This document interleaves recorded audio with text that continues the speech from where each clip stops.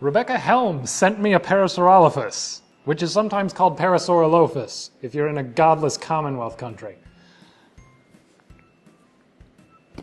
I can totally take this apart. It's um, the first thing that strikes me. It's it's structured and postured in the old-fashioned, like what you'd see in like Disney's Fantasia, with the semi-aquatic, hunchbacked, gangly-looking thing. Which thing you need to know about hadrosaurs, which is late Cretaceous, rather large herbivores that walked on four legs and ran on two. Ornithopods is the group because they had feet that looked like bird feet. Which isn't to say they're the only group that had feet that looked like bird feet, but paleontological names don't always make sense.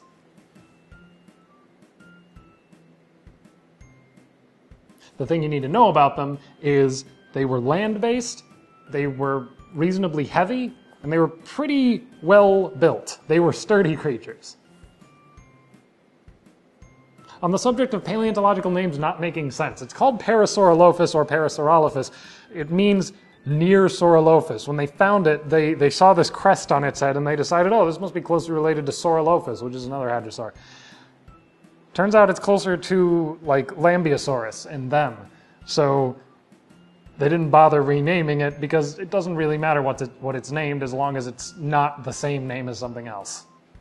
Science. So, as far as changes go, for starters, it's tripodal again. And in this case, there's no excuse, toy maker. This could be postured as a quadruped and still be accurate. You didn't need to make it a scaly kangaroo. Kangaroo is an interesting comparison because that's probably the only it's the only modern creature that browses on four legs and runs on two, in kangaroo's case, hops on two legs that I can think of. So that sort of makes sense. There was, um, I forget his name, but there was a museum curator that would posture iguanodon as if it was a wallaby, but he had to break the tail to do it. So tilt the whole animal forward, get the front legs on the ground. The front legs are pretty small, by the way. Both the legs, the, the haunches and the shoulders should be a little beefier. And when you have it standing in a tripodal pose, it winds up being this hunchback. But if you tilt it forward like it was in life, it, it's instead this sort of dramatic, uh, uh, straight rectangle uh, for the back going down into the neck and then back up into the head. And that's pretty cool looking. There's no modern equivalent for that kind of thing. While we're talking about posture, the tail is really rat-like. Uh, it's it's a little too bendy. Also, it's resting on the ground. It would have had its tail out even when it was in quadrupedal stance. Its tail would have been straight out. I don't remember if it had the reinforcing bony rods that like a theropod would have. We have that in some ornithischians. I don't know if we have it in Paris Parasaurolophus specifically. Uh, but if it did, even if it didn't, um, it had really tall uh, spinal processes on the spine, of course, on the spine, on the vertebra, uh, starting about halfway into the back, and then over the hip. They were really tall, and then descending into the into the tail. So its tail was pretty rigidly straight out and, and uh, uh, thicker than this.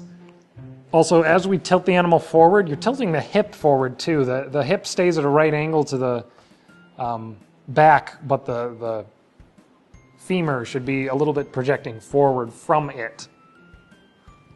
Basic takeaway: the hip is parallel to the ground, uh, whether it's on four legs or two. The ischium. This is an ornithischian, so the pubis is forward, but the ischium is backward, and and you would see that reflected in the the look of the tail underneath. It's splay-legged too. The the legs are really far apart.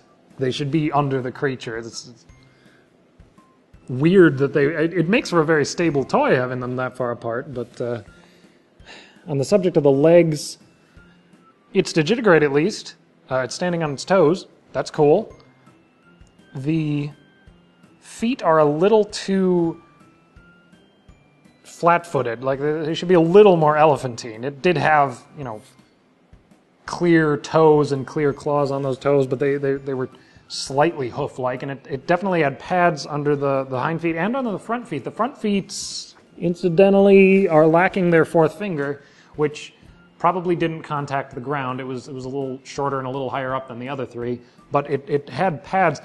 Uh, we found some trace fossil of soft tissue, and I always get really excited about trace fossil for some reason.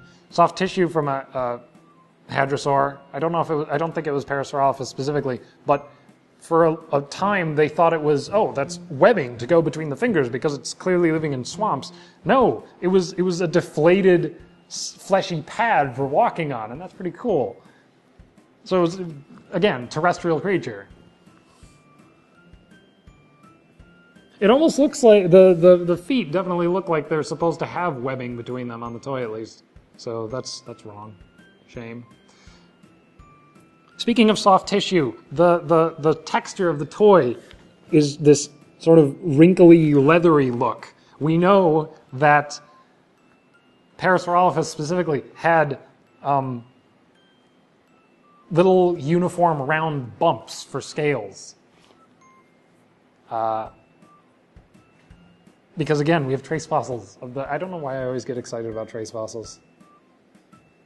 Probably because we so rarely get a glimpse into you know the non-bone part of dinosaurs. Slightly tantalizing. And just generally speaking, I mentioned that it's rectangular, but it should be. This is a really emaciated creature.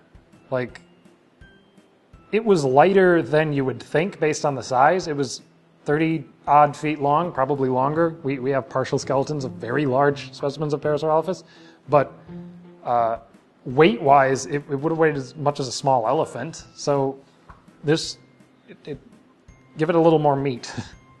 As far as the neck and head go, they at least have tried to give it an S curve, but it, the, the neck is going into the bottom of the skull when it really should be going into the back of the skull.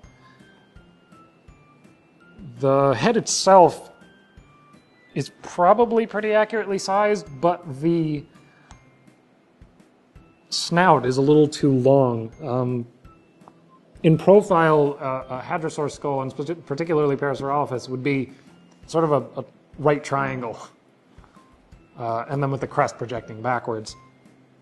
Concerning the crest, maybe a little too straight, honestly. Uh, I, I, think this is supposed to be walkeri. There's a few species that we know of for, for Parasaurolophus. Walkeri had, had the big, fancy crest, but it should be a little more curved. This is a little too straight. Um, it doesn't look like they've given any appearance for it having a beak on the front of its mouth and that's kind of important. It, it, it had the chewing batteries like, like any ornithodira, but had the beak in the front for, for snipping. And they've given it eyebrow ridges. I don't know why they always do this. They even in creatures that would not have had eyebrow ridges, they, they give them just these big flat looking expression. Probably for that reason, it makes it look more fierce. It makes it look angry. But uh, the crest is really the most prominent structure on the top of the head, not the eyebrows. Uh, there's also a skin flap on the back of it. Sure. I don't think we have any evidence for attach points for soft tissues uh, on the bottom of the crest, but we don't have any evidence saying that there wasn't one. And Rebecca Helm specifically requested that I uh, uh, talk about what the crest's function was. Uh, she asked if it was used to make sounds, and that's a theory. There are air passages going through the, the crest of Parasaurolophus and several other hadrosaurs. Some had solid crests, but Parasaurolophus didn't. It had uh, clear passages coming up from the nasal uh, and through the crest. So one of the theories is that it was used for auditory signaling, which is to say it was used for honking. Uh, I don't remember where the source is for this, but I'd heard that uh, sound-wise, it would sound pretty similar to a trombone, which is cool to me because I play trombone. So I'm making Parasaurolophus noises, except they could probably only make one note. Anyway, secondary, or well, another idea is that it was for visual identification of, you know, this is a mature individual. There's maybe not for Parasaurolophus, specifically, but for other hadrosaurs, there was sexual um, dimorphism, which is to say males look different from females. We saw this in Pteranodon also. Uh, I might not have mentioned this, but having a big crest on your head is a pretty common Archosaurian solution for I am sexually mature, please mate with me. So it's not unreasonable to say that that's what its purpose was in Parasaurolophus. Another idea that might be equally valid is there were other hadrosaurs walking around at the time. Uh, North America, late Cretaceous. This would have been right around 75 million years ago. Maybe they couldn't immediately tell the difference between one another. We don't know what kind of colors they were and so forth. So we do know that they, they were visually oriented just based on the evidence around their orbit. Uh, maybe they needed some kind of visual identifier for, hey, that's one of my species, that isn't because the crust looks different. Which is a cool idea. I hope that covered everything you wanted to know about Parasaurolophus. Thank you for watching Your Dinosaurs Are Wrong. Please remember to like, comment, and subscribe. Even request dinosaurs for me to talk about. Or send me a toy dinosaur like Rebecca did. Our address is in the description. Uh, you could go to thegeekgroup.org to find out how to become a member and donate. And we'll see you next time.